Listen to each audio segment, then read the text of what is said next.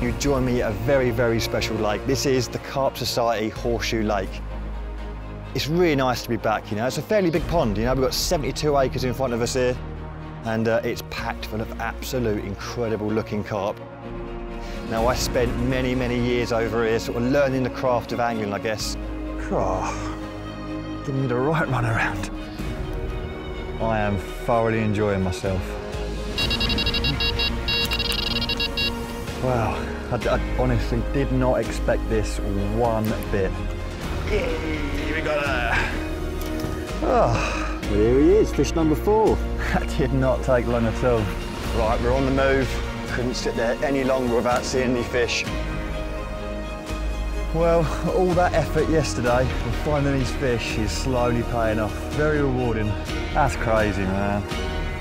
Put them in. Creme de la creme.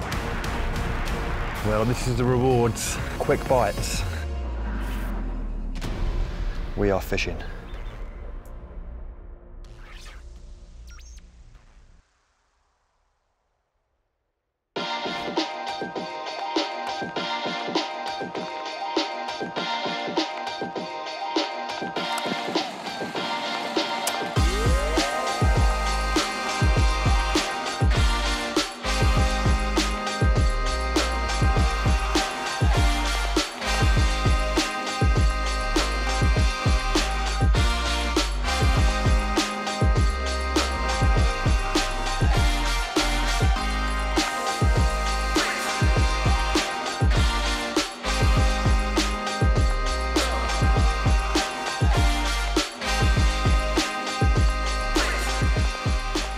Welcome to the Carp Project Volume 3 and you join me at a very, very special lake. This is the Carp Society Horseshoe Lake. Now I spent many, many years over here sort of learning the craft of angling, I guess. And uh, it's really nice to be back, you know. It's a fairly big pond, you know. We've got 72 acres in front of us here and uh, it's packed full of absolute incredible looking carp, just like they were back when I was fishing it some 18, 20 years ago. Um, I've had a good lap around the lake. It took a while once I sort of stopped in all the sort of likely looking areas, but I'm going to sort of plot up for now in peg 37. Um, it gives me a good bit of scope of water, and that's where they seem to be at the minute, this sort of off the headland, off the boat point area. So I'm to get back a long way down there to the van, load up, get back down here, and I'll catch up with you then.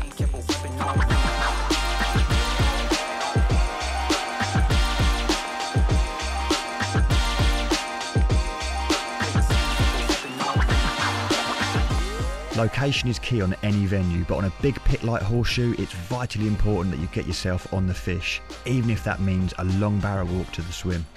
So, don't be put off and tempted into the first room you come to. Simply make two barrow trips if needed.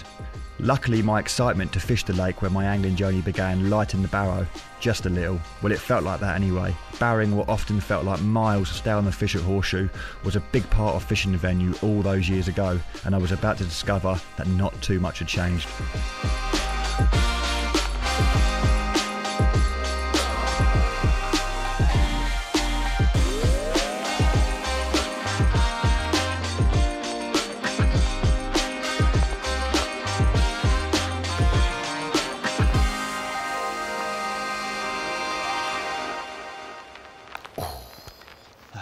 Money spot. Well, bit of a change of scenery. This is definitely not peg 37. So I got into the swim and I've done exactly what I'm doing now. I had a little lead around because there's a lot of weed around and I wanted to make sure there was a few sort of fishable areas. And there certainly was out there. It was, it was pretty barren, you know. It was just so much silkweed and not enough Canadian pondweed. And these fish are spending so much time in them big Canadian pondweed beds. And with the lack of it out there, I just didn't feel like there was going to be enough fish holding out there to get to warrant my time in there. So I got on my toes, I put everything back on the barrow, got it back in the van, and uh, I've done some steps today. I looked at my phone a little while ago, I've done over 18,000 steps. That's the joys of big lake fishing, you know, and horseshoes no different. You've got to be looking for the fish. And um, a couple of laps later, I spoke to a few anglers, and everyone was a bit baffled of sort of where they could be.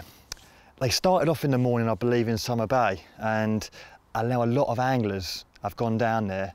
Everyone's saying, we don't know where they are. So on my way back to the van, I thought I'd have one quick lap round. I came to this corner of the lake where there's no anglers, and guess what? bingo. They are absolutely stacked down here. So uh, I've seen 50 shows already in 20 minutes, so I know exactly where I'm gonna be fishing, and that is here. As we say that, another one has just jumped next to the spot. What a buzz, you know, this is what Horseshoe gives you. It gives you that drive to keep looking, to keep looking, and you get the result at the end of it. So I've had a few leads around with a real small lead, two and a half ounce lead there, and I found two absolutely perfect uh, areas. One exactly where the fish are, right next to that weed bed, which is at 15 wraps. And I did see a few fish also close in, and I managed to find a nice little silkweedy area amongst some Canadian at nine wraps. I didn't want to go casting right out in the middle and sort of another one there, ruining my, my chance for that banker rod. So I'm going to leave just one rod down there where the bulk of the fish are, and leave this one here to sort of hopefully nick fish as they come in and out. But yeah, I am absolutely buzzing. This is what Horseshoe's about, finding them, finding little spots and then getting the result. So I'm gonna get my main rods around the wrap stick, get them sorted out and get some rods out.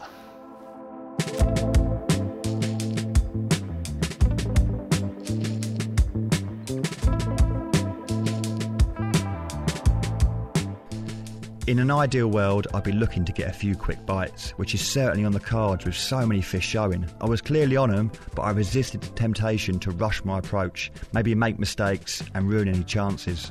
Instead, I put up my house and tied a few solid bags, which were packed full of attraction. They make the perfect presentation, not only for a quick bite, but if I was unlucky and landed on some low lying weed or debris that I didn't fill with my marker lead, I'd still be presented.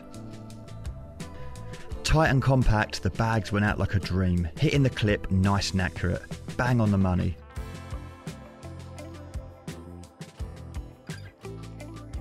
After settling the line, all I needed to do was catapult a few 10mm boilies over the top. Just enough food to get the fish grubbing about. Hopefully, this would hold the fish in the area for longer, allowing the bags to do their thing and me pick up a few bites. With the majority of the fish showing to my left, I felt happy to make slightly more disturbance over the right hand rod with the spawn, and the traps were set.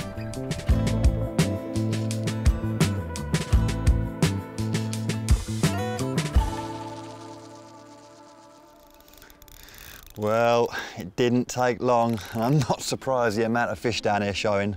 I'm sitting there in the bivvy thinking when, and off, the, off she went, the left hand rod solid bag over them, scattering of link boilies. Oh, what a buzz. And as I'm playing this, I can still see fish showing now, so it could be a real fun night. this feels good though. Not been here for many, many years. It's nice to get a bend in a rod from a horseshoe carp.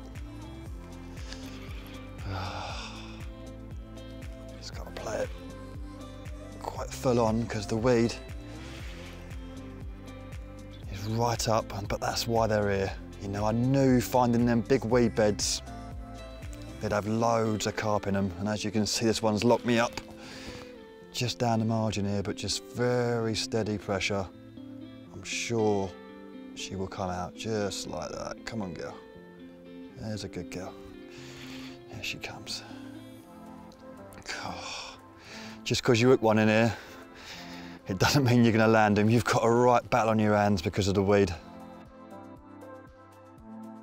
But I wouldn't have it any other way. And I reckon we might be netting a bowl of weed here because we are, but there's a fish in it, I can see it. It's not a bad thing, she's got her head right in the weed.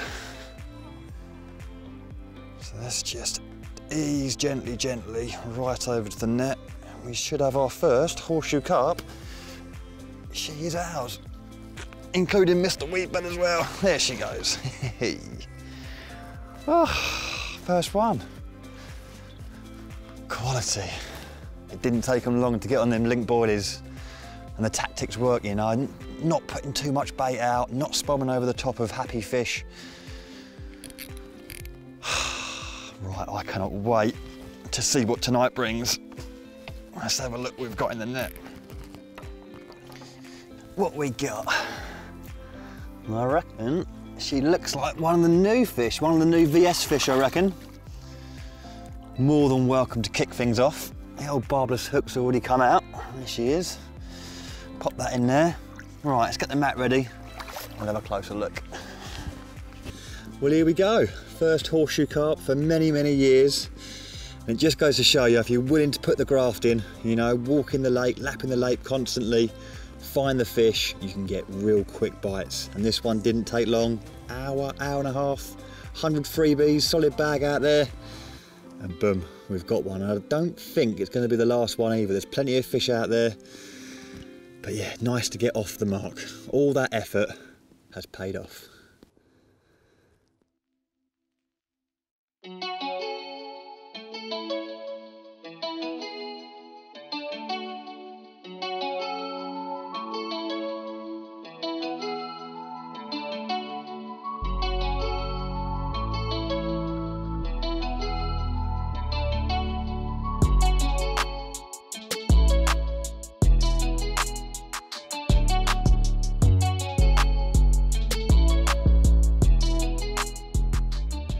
This is how we like to start the morning with a nice bend in the rod.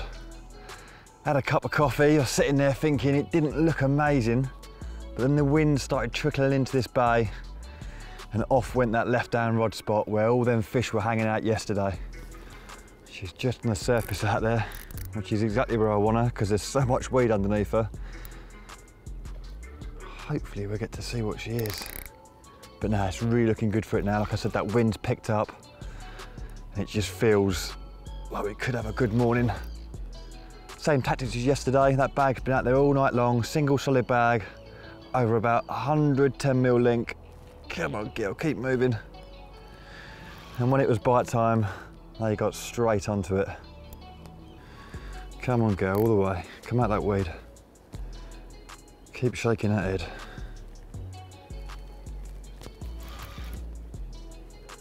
Oh, thankfully that inline lead has dropped off, which has made this a lot easier than what it could have been. Come on, all the way over, sweetheart. All the way over the net. Here she comes.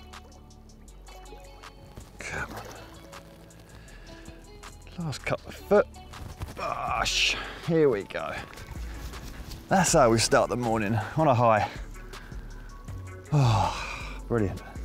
Well, it looks like we've got a nice leathery character in there, beautiful fish. And that is a way like to start the morning. Let's hope there's a few more in it. Well, here we go. Here is that perfect start to the morning.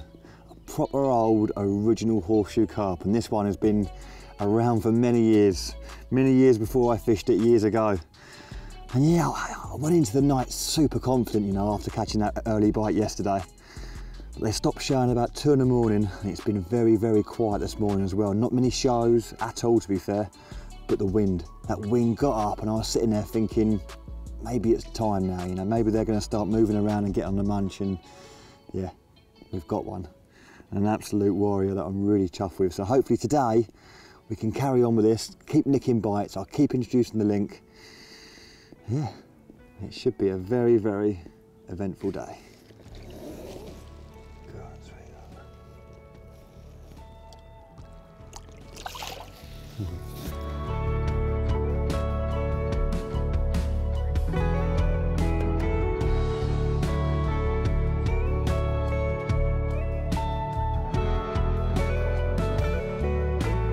It was great to get off the mark on the first night, and even better to see an original horseshoe carp on the bank so early on into my session. But it was now time to build on my initial success and try and string a few bites together. The PVA bag presentation and link boilie approach was clearly working, so now it was important to focus in on this and simply make sure that what I did, I did well, wrapping up the rods, casting accurately, and hitting the productive clear areas tight to the weed.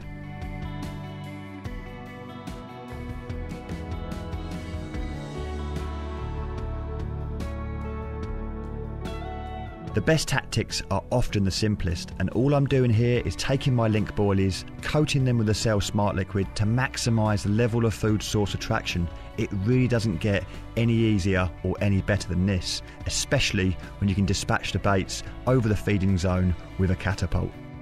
Having carp in the zone, plus bait and my solid bag presentation bang on the money can only mean one thing in most cases action on the rods. Well, let's hope so.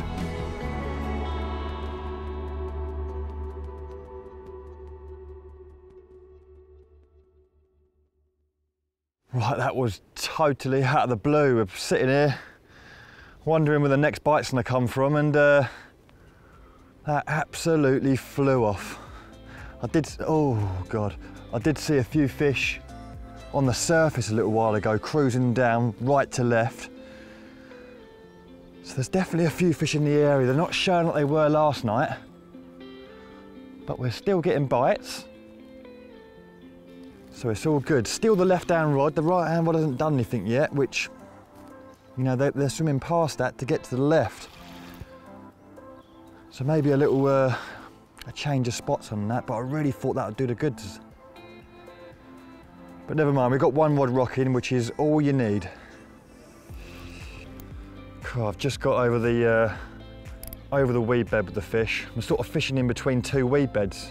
There's a slight channel. It's fairly deep as well, sort of nine, 10 foot. But getting it over this weed bed that's in front of my uh, in front of me is is tricky. But I've managed that. It doesn't feel too bad at all. This one, this one's pulling back. This one knows exactly where to go. It's uh, it's took a beeline straight down my margin and heading for this underwater tree with a load of weed around it. So, oh no, it's just popped off of that, so that's good. Oh, giving me the right run around. There she is on top. Got a guide to the net. And number three might be in the bag. Another lovely fish. It's got a bit of weight in its head, which might help as well. Net in position. Come on, girl, up you come. There's a good girl. Come on. Come on. Oh, no. Here she comes. Wait and all. Yay, we got her. Oh. Well, all that effort yesterday of finding these fish is slowly paying off. Very rewarding. Let's have a look at it. Right, fish number three. More than welcome, nice chunky old mirror and um, yeah, solid bags again. That left hand rod keeps doing the bites. It's where the bulk of the fish was yesterday, so I'm not surprised, but um, now I'm quite particular how I do my solid bags and my solid bag mix. So I reckon we get this one back, get the rod wrapped up, get it back on the spot and I'll show exactly what I put into my bags to catch these lovely fish. Right, the good old solid bag. A tactic that I absolutely love, but more importantly than that is the mix that goes into the bags. Now you can just use, and a lot of people do, straight pellet. That's fine, but I love to really pimp that mix up and get the most out of my bag mix as possible. Now the first thing I like to do when preparing a sort of solid bag mix is take some link activated ground bait. Now it's a brilliant ground bait, it's packed full of attraction. Now what I'll do is I'll put that into a big bucket so I've got loads of room to play with and I want to try and get as much out of that ground bait as possible. So what I like to do is add some hemp oil. Now hemp oil is a great attractor. It's very heavy, so it'll rise to the surface, dragging loads more fish into your swim and hopefully getting a few quick bites like we had this session. Now I'll get my hemp oil, I'll put a fair bit onto that ground bait. Now that ground bait was sucking all that liquid, but it's really important you leave it some time for it to be able to do that. Okay, so I once mixed up together and I've got that hemp oil thoroughly infused in all that lovely ground bait, I'll then move on to the pellets. Okay, now the pellets are the sort of the core to the mix. Now you can just use pellets in a solid bag and you'll get loads of bites. But this way of doing it, combine the ground bait, the pellets and the hemp oil, you're making the best bag mix you can possibly do. So I'm gonna repeat the process. I'm gonna get some pellets, put them into a large bucket, so again, I've got loads of room to circulate that hemp oil through the pellets, get them coated, and then combine the two mixes. I'll combine the ground bait to the pellet. Again, make sure the ground baits and the pellet are all evenly coated in hemp oil and you'll be good to go. That mix there, it looks a lot, you know, but I'm gonna not, that's not just for one day session. I'm gonna get loads and loads of PVA bags out of that mix and that bucket can stay in the van for when needed. Two, three weeks at a time.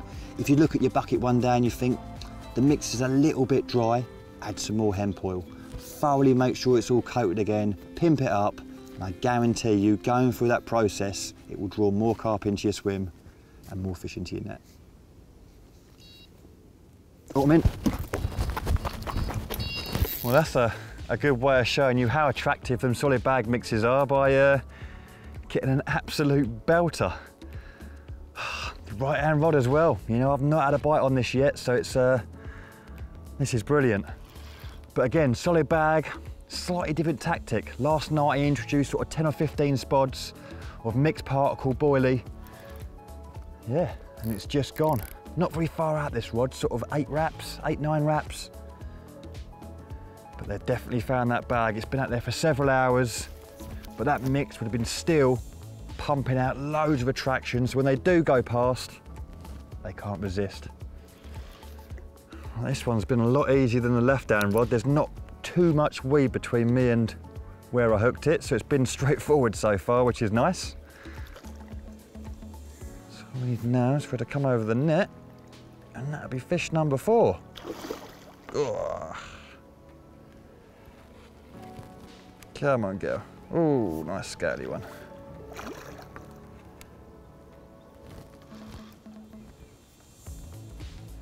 Come on, up. I want to see you. Here she comes. And back of the net for that one. That's the results. We've actually got two spots rocking now. Two completely different tactics, baiting up wise, but with the same result, fishing the net. It's looking good, it's looking good. Welcome back to Horseshoe, eh? Well, I was just admiring what was in the net and uh, I looked up and bosh, just behind the spot, one has just rose straight out the lake. So, yeah, man, I tell you what, you can't beat that looking and looking and looking, it all looking a bit doom and gloom, eventually finding them and getting the results. That's what Horseshoe has always been about, you know, the searching of them, finally getting on them, setting some traps, and uh, yeah, enjoying it. And that's exactly what it was like then, back in the day, 20 years ago, and that's exactly what it's like now. Lovely place. But here he is, fish number four. That one come completely out the blue and that right hand rod hasn't done much all trip, but there you go. If they're filtering through and you've got that solid bag bang on the money, there's always a chance. Now one of the rules at Horseshoe is that you don't put that rod back out until the fish is safely back in the water. So uh, let's abide by that, get him back and get two rods back out there. Right, now that that one's back into its watery home, my spare rod with my pre-tied solid bag can quickly get back on the money. Nine wraps. Lovely, feel her down, bang, beautiful. Now line lay, get that line down on the surface as quick as possible, out of the clip, but do not move that solid bag. We move that lead out of that bag, we're no longer fishing effectively. Try and keep as straight a line as possible as well. Don't let the wind catch it too much. And that touchdown now is going through the water lovely. Right now I've got a lovely direct line between me and that solid bag. I've not moved the lead. I've been very, very careful. And that is absolutely perfect. You know, this process here, you do not want to rush. If it takes five or 10 minutes, it takes five or 10 minutes. The most important thing is when you put it on the rest, you are fishing absolutely perfect.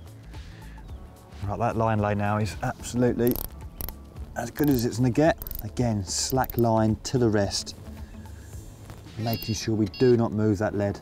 So important that. Done all the hard work. To mess it up now would be uh, would be horrible. Right, bobbing on. Get that in the clip. Quite a tight all. And we're good.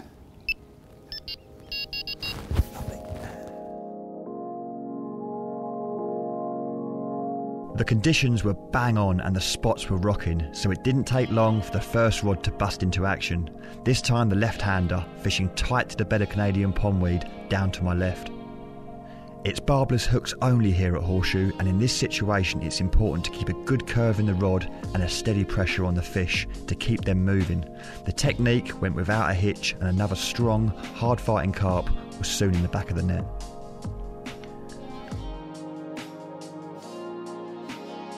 With the net collapsed and slid into the sling, another horseshoe mirror was safely on the mat, ready to display. You have to say the carp site have done a fantastic job of introducing the latest batch of scaly carp to keep the horseshoe tradition alive for many years to come. I was having an absolute blast catching these lovely scaly carp.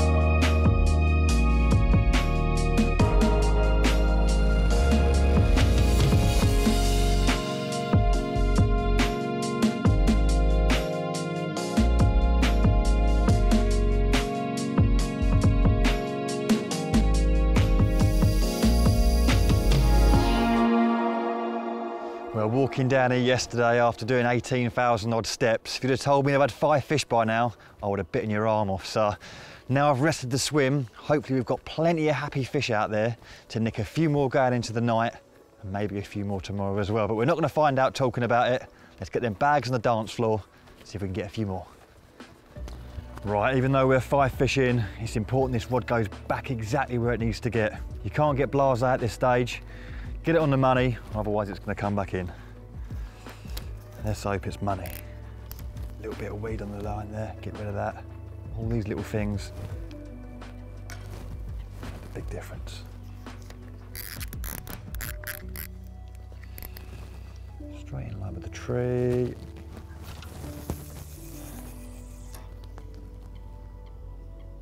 And down. Oh my God, that was absolutely beautiful. When you get a donk of a solid bag, you know you're on the money. That was perfect. Right, line lay, get that sorted out. Hopefully that's bite number six.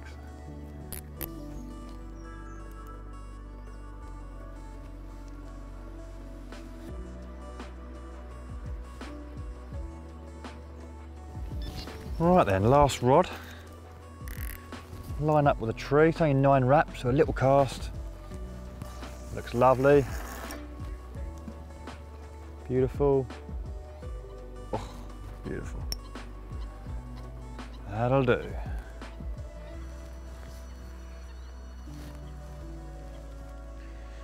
Right, last but not least, and probably one of the most important bits.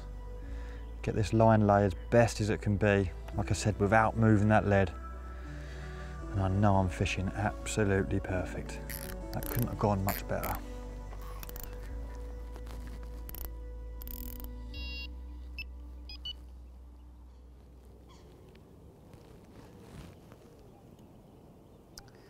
Well, that is it. That's the last bobbing on. They went out absolutely perfect. Fingers crossed for this evening.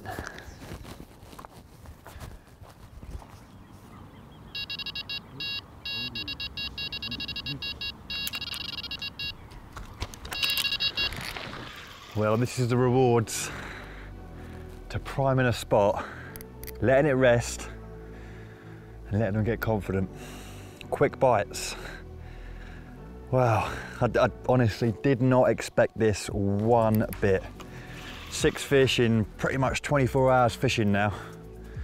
That's what it used to be like at Horseshoe. It's um, it's changed considerably now. You still get the odd hit, but yeah, it's not what you expect one bit. But I am thoroughly enjoying myself. I've just got to steer it around these last few weed beds. I don't want it going back to that tree line again. Come on, girl. Let's grab a quick net.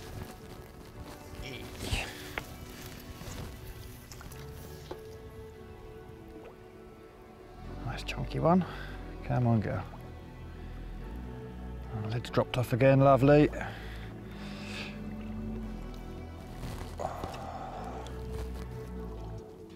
Last couple of foot, sweetheart. Hee.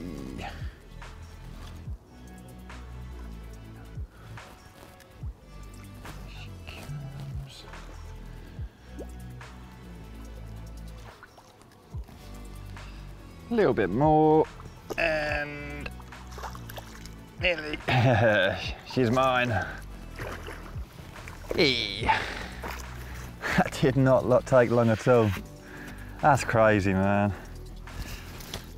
Didn't expect that one bit. Right, the hook's in the net, so I've got to be really careful now. I might get in the waders quickly to make sure we don't don't make any uh, any tears in its mouth. Right, when I netted that fish, I noticed that the uh, the hook was in the fish, but also the net as well. If you go to lift them out at that stage, you could easily rip them mouth, and that is when a lot of mouth damage happens. So I jumped in the waders quickly, just to make sure that wasn't going to happen. But thankfully, uh, it disgorged itself. Being barbless, they come out very, very easily. And that's very, very good when you're um, fishing these really weedy situations. So while we're in the waders, I think we'll slip this one back and send on our way. Lovely mirror, upper double. Lovely scatty fish. You later, babe.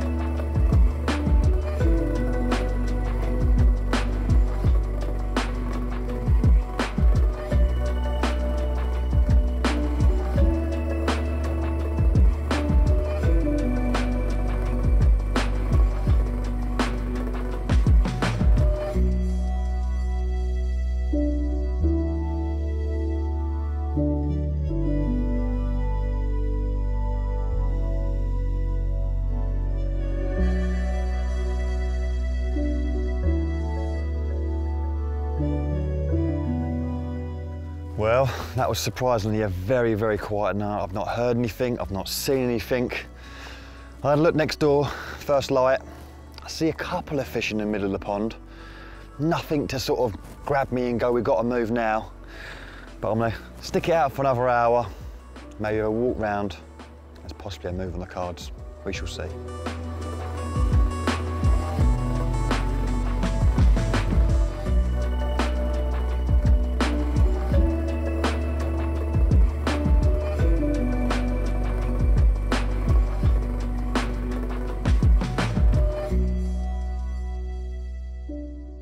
We're on the move. I couldn't sit there any longer without seeing any fish. As soon as become available, well, I see them fish this morning. So I'm gonna get my kit round there and hopefully get amongst a few more.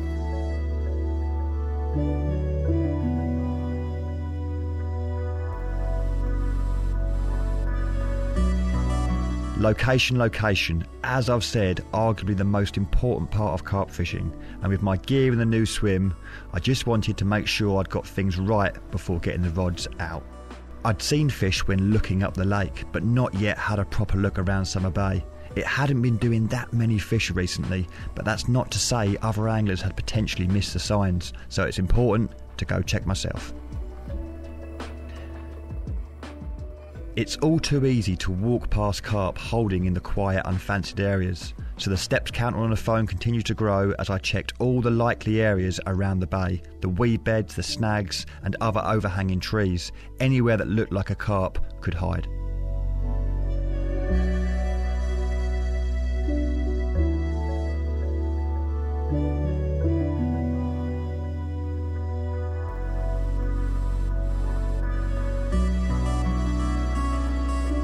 All of the spots I checked around Summer Bay turned out to be devoid of carp, so I got back to my swim, full of confidence I was in the right place.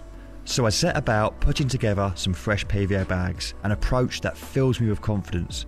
Bite sized parcels of food attraction, great for quick bites, as well as fishing over spots of bait, and without any worries of tangles. Don't be put off by this method. It may seem fiddly at first, but with practice, you'll soon be putting bags together in seconds and casting them as straight as an arrow.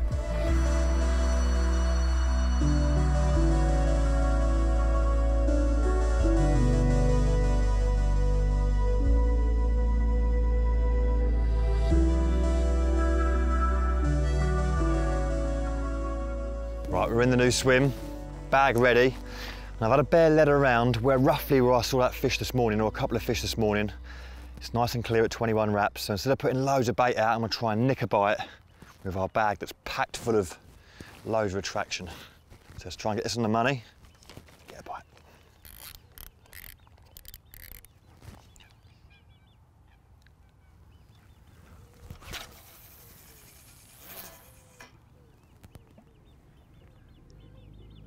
Oh mate, that was creme de la creme. We are fishing. Right, you join me here at the very historical Horseshoe Lake and uh, I've got a lot of history to here as well, you know, it's something where, somewhere where I pretty much grew up as a teenager from sort of 16, 17, 18. I spent a lot of time on these banks. I've walked it many, many times and I've got so many great memories and coming back has brought back a lot of them memories as well and uh, the lake hasn't changed much at all, it's still absolutely gorgeous. The fish as well, you know, the, the, fish stock has changed over the years. You know, there were real heavily scaled old leanies back then, and there's still quite a few in here. Um, but the VS fish now are pushing through, loads over 30 pound, and uh, I'm sure there'll be a 40 pounder back in here as well soon. But back then there was a fish called the patch, and the patch was was a daddy-o, you know. It didn't come out a lot either. Real long fish, real heavily plated with a big sort of bare patch in the middle of it. And uh, I never, I never, never did actually catch it. I did photograph it once at 41 pounds, and um, yeah, that, that fish was the drive for everyone. You know, there was a lot, there was loads of awesome 30s, but patch was like seven or eight pound bigger than anything in the lake. And uh, yeah, I, I didn't, never caught it, but it still lives fondly in my memories.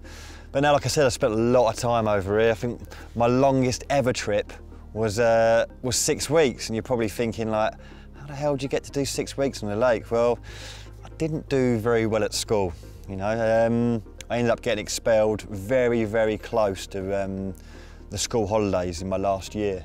And uh, so yeah, I got expelled. No, no, particular reason, it was just, I was just a naughty boy at school. And um, my dad was like, what's the plan now? Like, you've messed up, like, what's your plan? You're gonna sit at home for the next six to eight weeks and do nothing? Or I was like, well, no, like, I'll go horseshoe. He's like, how's, how's that going to work then?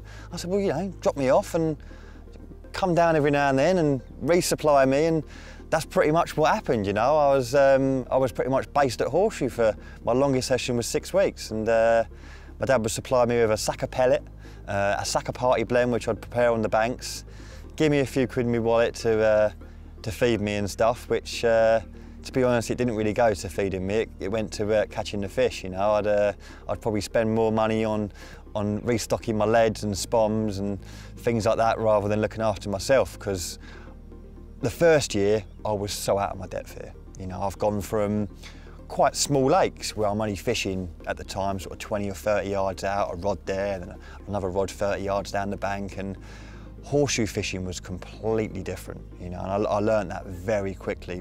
You'd walk into the, the swims of the anglers that knew what they're doing and catching regularly, and they'd have three rods like bowstring lines, boom, boom, boom, all down, all down perfectly parallel, and you see them spodding over the top and just, just terminators, you know, catching loads of carp. And when I arrived, it was, I was like, this isn't normal, you know, I'm used to just marker floats and feel my lead down and but I quickly learned that that was the way and I had to learn quick. And to be fair, it took a long time. And I remember the first year, I struggled. Absolutely beat myself up, you know. I knew what I wanted to do because I didn't know how to do it. It was just, there was crack offs and very frustrating sitting there in the middle of the night, you know, and you can hear other people's alarms going off and you've got fish in your swim going mad and I'm not fishing for them. I'm fishing in the weed, my bait's everywhere.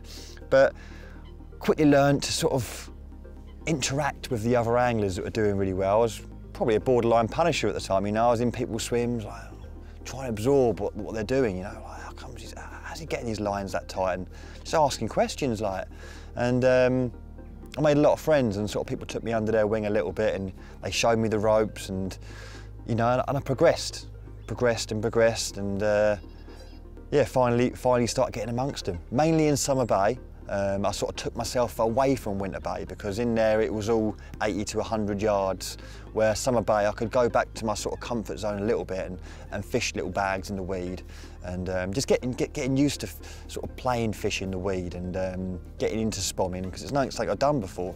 And uh, yeah, and like through, through, that, through that second year, so the first year was almost like a write-off, you know, I didn't catch hardly anything.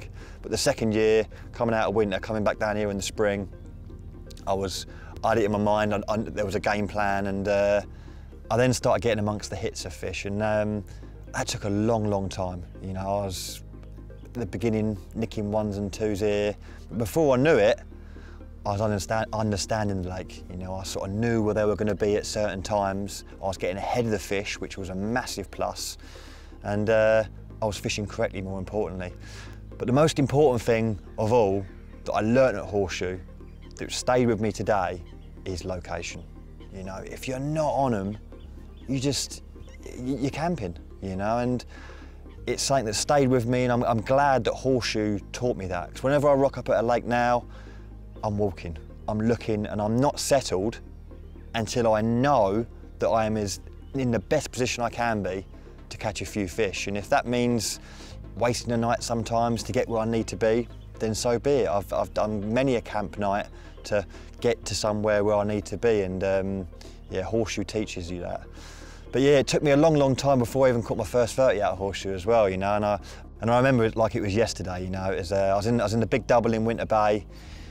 There weren't that many fish around, and I, I believe I was actually in there because I could, couldn't get in Summer Bay. And my mates had come down for a social as well. They actually won a competition um, for a, a, guest type ticket or a day ticket on, on Horseshoe. And uh, my mate Carl and myself were doubled up in the big double. And I put him on the left-hand side, which was you know, that was the area, straight towards Big straight towards um, disabled at about 26, 27 wraps. But back then, actually, we never used to wrap our rods out. You know, they weren't even invented sort of 18, 20 years ago. We'd put a peg in the ground, um, sort of next to your swim, and you'd walk your rod all the way down the Whitney Bank or wherever you was until you hit the clip, um, put another peg in where that was, and each time you caught, a fish or wanted to recast, you know, your lead was by the first peg and you'd run down the Whitney Bank, reel against the other peg, in the clip. Hard work, you know, if you're catching 10 fish a night sometimes, you know, you'd be doing like 100 yards, 500 yards of a night time. And, uh, but yeah, you just, that was the horseshoe way and it was until the wrap sticks came out. But, but yeah, that first 30 come around, I put Cole in the left, said to him, right, there's, there's, there's the peg, mate. Put your lead there, walk down to there, and uh, bang in line with the sable, get your rods out. He done that and uh, went to cast out, nowhere near it. And uh, several casts later, still he was nowhere near. He's like, like, mate, I can't get that far out. He'd never done that style of fishing either, you know, but I'd been a sort of year and six months into it by now. And I said, well, no worries, mate. There's a spot closer in on the right. You go on that and I'll go on the left. And um, so that's what we done. We sort of swapped rods around and uh, I got my rods out there that night. Middle of the night off she's gone. I wasn't expecting too much because there wasn't a lot in Winter Bay at the time. Off she went and uh, yeah, first 30 man, 30, I think it's 35 12. Awesome, awesome linear. And that's one of the biggest carp I ever caught at the time. After catching that first 30, uh, the ball started rolling, you know, I really started getting amongst some of the, um, the old horseshoe gems, you know, amazing looking fully scaled, just the best linears you've ever set your eyes on. They really don't make them like the old horseshoe leanies, but yeah, I guess you know, horseshoe, I sort of turned a corner in my angling. You know, I, I came with what I thought was an understanding of carp angling, and it wasn't, and left with a very good understanding of sort of fish location, where I need to be, the, the rigs I need to use, and just a whole range of angling skills that I never had. So yeah, I, I hold it very dearly in my heart, and uh, it's been very, very nice and enjoyable to come back and film this episode of uh, Carp Project.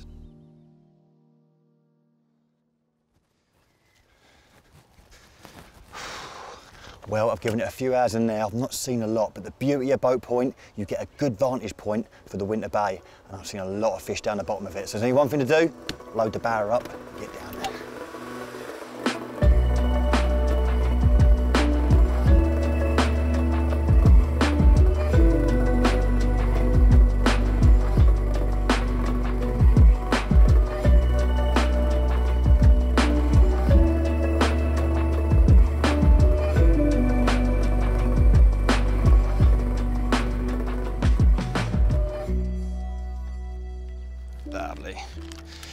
Right, it's the final night. The final spin of the dice, as they say. But yeah, I was sitting on boat point. It wasn't looking great, so I was having a look around the lake and uh, yeah, I see quite a few fish down in Winter Bay. To my surprise, I thought they'd be in the shallows, but as fish, they go where they want to go. So I got round here into a swim called the White Post. Plenty of fish out there. And uh, yeah, a little bare led around, a dozen casts or so, and located a lovely little gravelly area just before a big old weed bed. Now hopefully they'll stick to that weed bed like glue during the day.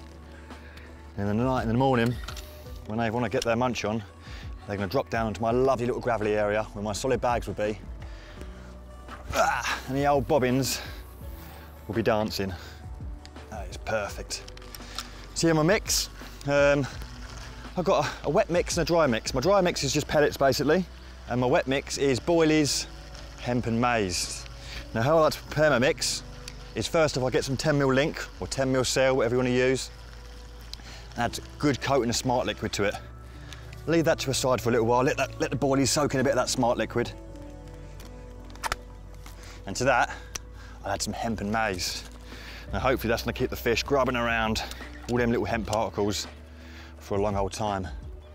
Now in my dry mix, bit hard that one, lovely. To my dry mix, I've got some spotting PVA pellet, which is a several different size pellets, ranging from sort of 0.5 mil up to about 4 mil. Loads of different breakdown times. And to that, I've added some Cell response pellets. Again, slightly larger pellets. They're gonna break down that little bit longer. I keep my two mixes separate. I don't want the pellets breaking down in my wet mix. I want them breaking down on the lake bed, or in the gravel in this case, and letting their, all their attraction off in the swim rather in the bucket.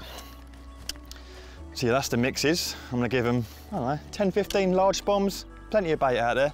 Because once they come on you in here, there ain't just three or four, you know.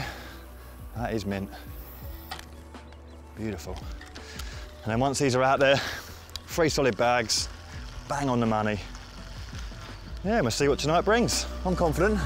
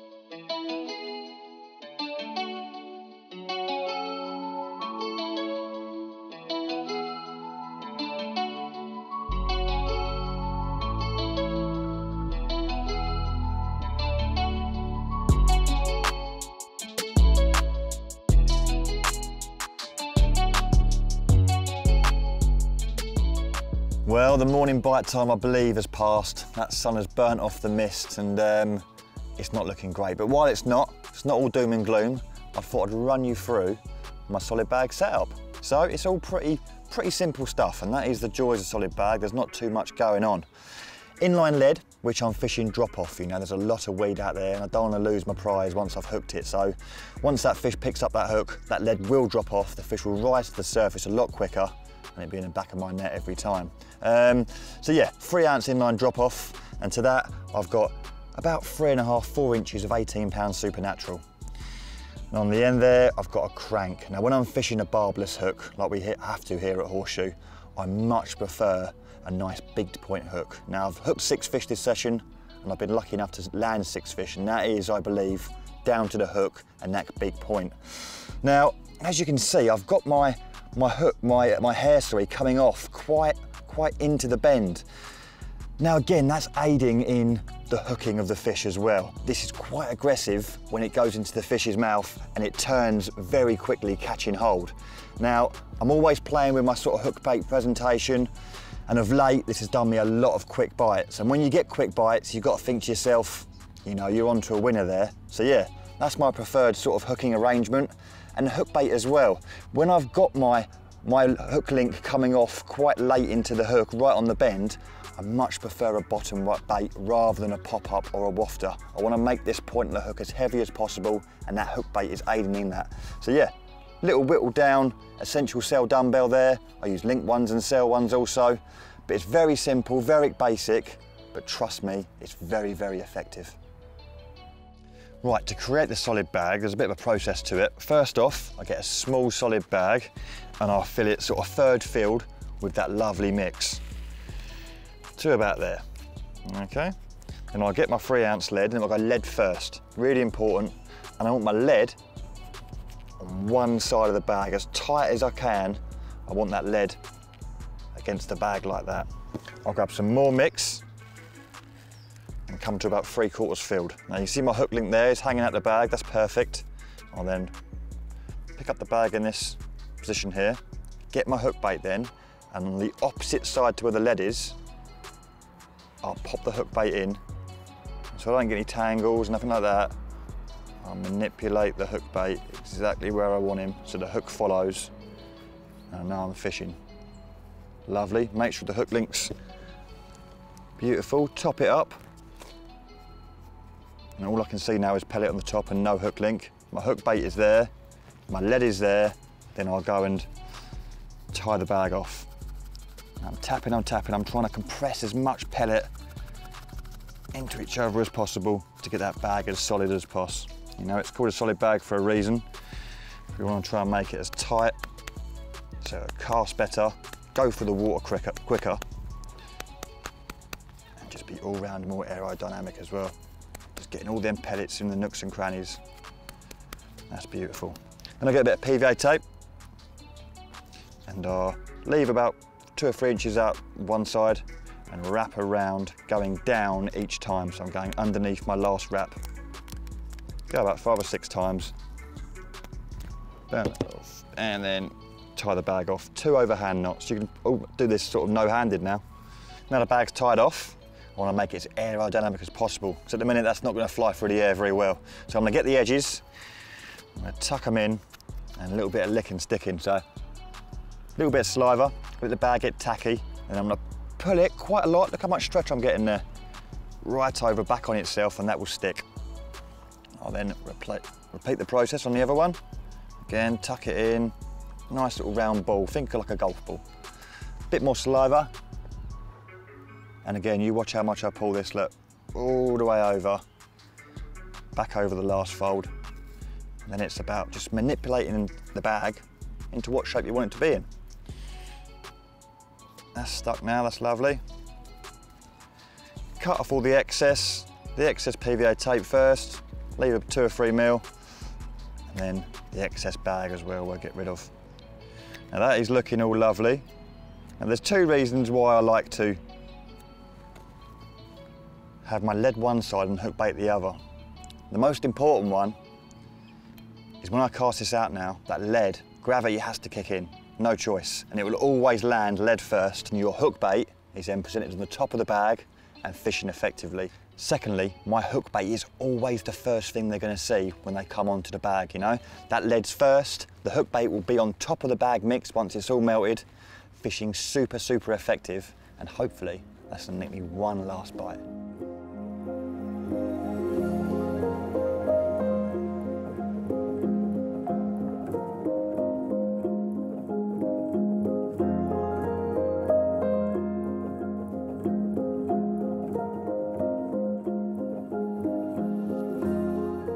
Well, last night as drew a blank, you know, I was really confident going into last night as well, but uh, this morning it looked good and all. You know, the mist rolling off the lake, but the sun come up, it burnt that off and it pretty much burnt our chances off as well. So, you know, that's fishing, you don't always get it right. We had a good start to the session, so I can't complain. You know, I thoroughly, thoroughly enjoyed myself at Horseshoe again. It's been great to come back. Great to see how it's sort of grown on in the last few years. And I'll definitely be back for some more.